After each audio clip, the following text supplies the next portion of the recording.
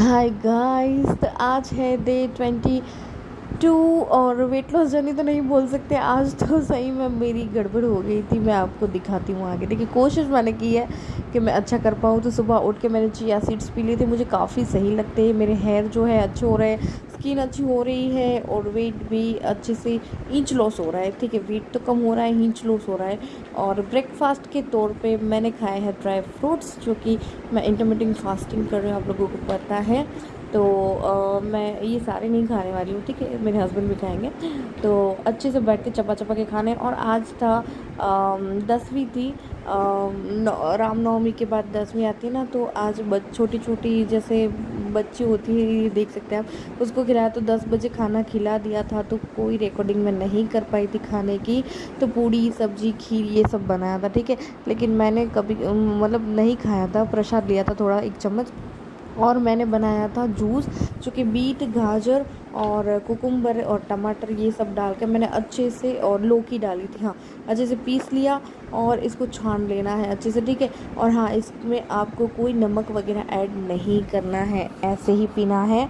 बहुत ज़्यादा healthy juice है, आपको एनर्जी भी फील होगी और आपकी स्किन ग्लो करेगी, आपकी वेट लॉस में तो मदद करेगा ही करेगा।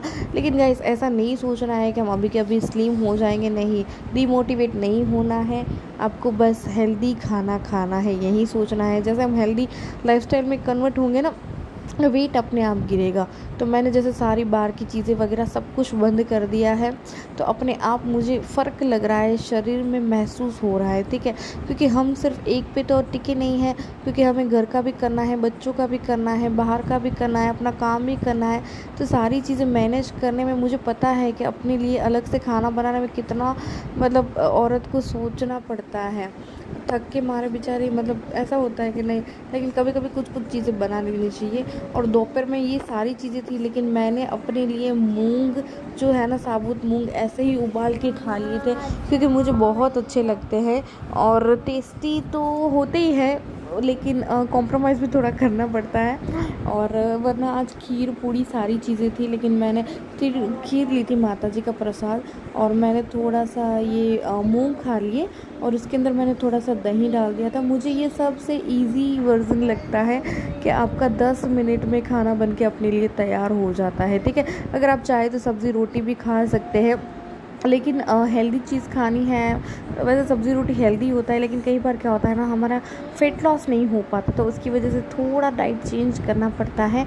तो मैं शायद अभी दो तीन दिन का ब्रेक लूँगी और उसके बाद मैं हार्ड चैलेंज लेने वाली हूँ तो आप लोग भी तैयार रहना, ठीक है? तो उसके बाद ये सारी चीज़ें दिखा रही हूँ, मेरे हस्बैंड खा रहे थे तो ये आलू की सब्ज़ी थी खीर थी और ये दाल है और सारी चीज़ें खा ली उन्होंने पूरी वगैरह सब कुछ बनाया था ठीक है? और उसके बाद मैं शाम को चाय पी रही थी आज था हमारा योगा का प्रोग्राम ठीक है?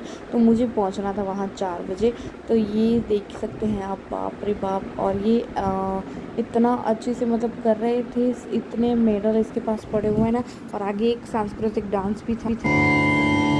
चापे यदो रारीरकाये कबूरगोराधरीरकाय चापे यदो रारीरकाधत् शरीरका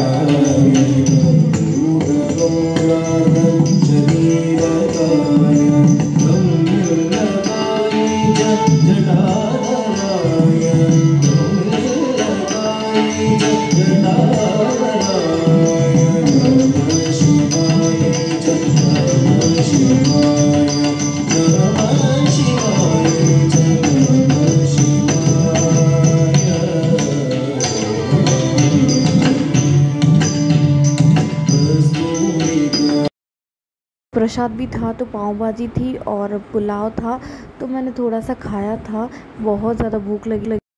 यही था आज का पूरे दिन का मेरा व्लॉग और डाइट भी थोड़ी बहुत आज गड़बड़ हुई है, लेकिन कोई बात नहीं, मैंने कोशिश की है, मैं अच्छे से अच्छे कर पाऊँ।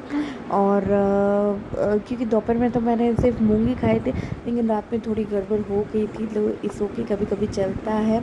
लेकिन अब मैं अच्छे से ध्यान रखूँगी और वापस मैं चैलेंज लाऊँगी और मैं हार्ड चैलेंज लेने वाली हूँ और ये है मेरे पूरे योगा का ग्रुप जो कि बहुत अच्छा है। बीच में जो है मेरे योगा गुरु है और काफ़ी वहाँ टाइम लग गया था, इसलिए हम, हमने सबने मिल के खाया तो हम मना भी नहीं कर सकते हैं। तो प्लीज़ अच्छा लगे तो लाइक शेयर एंड सब्सक्राइब करें और मैं आगे भी ऐसे अपने लिए ही चैलेंज लूँगी मैं, क्योंकि मुझे वेट लॉस करना ही करना है।